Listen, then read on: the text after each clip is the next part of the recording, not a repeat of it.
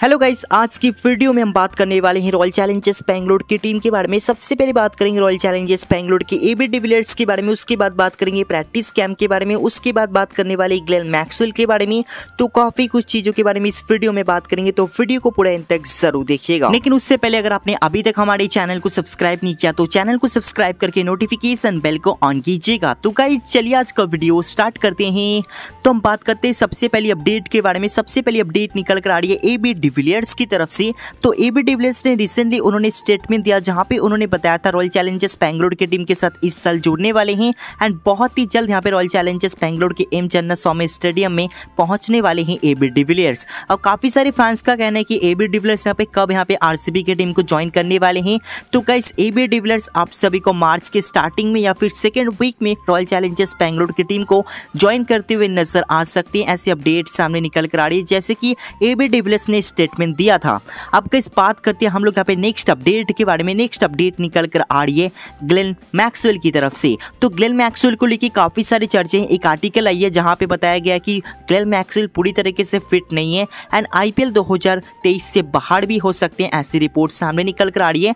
लेकिन गाइस यहाँ पे एक पूरी तरीके से वेरीफाई न्यूज़ नहीं है। अब बात करते हैं हम लोग असली न्यूज़ के बारे में। तो ग्लेन मैक्सवेल की तरफ़ से जो अपडेट हम सभी को देखने को मिली है कि ग्लेन मैक्सवेल बिल्कुल फिट है एंड गाइस पे अपना प्रैक्टिस भी स्टार्ट करने वाले हैं, जैसे कि उन्होंने लास्ट वीक ही उन्होंने स्टेटमेंट दिया था। एंड उन्होंने बताया था कि मैं अपना प्रैक्टिस स्टार्ट करने वाला हूँ बहुत ही जल्द। एंड रॉयल चैलेंजर्स बेंगलोर की टीम के लिए अवेलेबल रहने वाले हैं स्टार्टिंग मैचेस से। मैंने आप सभी को पहले भी कहा था। एंड मैं अभी भी कह रहा हूँ, और ग्लेन मैक्सवेल की तरफ़ से ऐसा हम सभी को अपडेट देखने को मिला है। तो आईपीएल 2023 में आप सभी को आरसीबी की टीम की तरफ़ से नज़र भी आने वाले हैं ग्लेन मैक्सवेल एंड साथ में स्टार्टिंग मैचेस भी खेलते हुए नज़र आने वाले हैं ग्लेन मैक्सवेल अब बात करते हैं नेक्स्ट अपडेट के बारे में। नेक्स्ट अपडेट निकल कर आ रही है आरसीबी के प्रैक्टिस कैंप की तरफ़ से। तो काफ़ी सारी टीमें गाइस अपनी प्रैक्टिस स्टार्ट कर चुकी है। कोलकाता नाइट राइडर्स की टीम राजस्थान रॉयल्स की टीम गुजरात टाइटन्स की टीम लेकिन अभी तक यहाँ पे रॉयल चैलेंजर्स बेंगलुरु की टीम के यंग खिलाड़ी आरसीबी की टीम को बहुत सारे ऐसे खिलाड़ी हैं जो कि ज्वाइन नहीं किए हैं।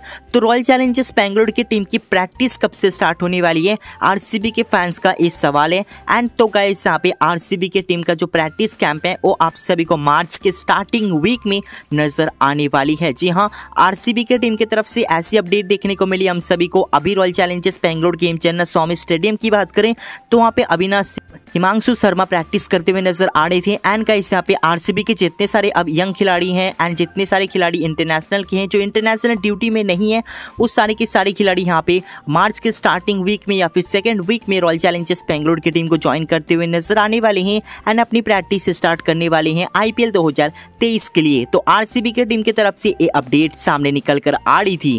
तो क्या इस पे आर की टीम की तरफ़ से ये सारी अपडेट निकल कर आ रही थी। तो आपका इस पर में क्या ओपिनियन है? तो नीचे कॉमेंट सेक्शन सेक्शन में जाके ज़रूर बताइएगा। एंड गाइस यहाँ पे अगर आप लोग सारी अपडेट को पाना चाहते हो आरसीबी के रिगार्डिंग तो हमारे चैनल को सब्सक्राइब करके नोटिफिकेशन बेल को ऑन कीजिएगा, जिससे हमारी आने वाली वीडियोस की नोटिफिकेशन आप तक पहुँचेंगे, उसको आप सबसे पहले देख पाएँगे। तो हम मिलते हैं नेक्स्ट वीडियो में, तब तक के लिए बाय बाय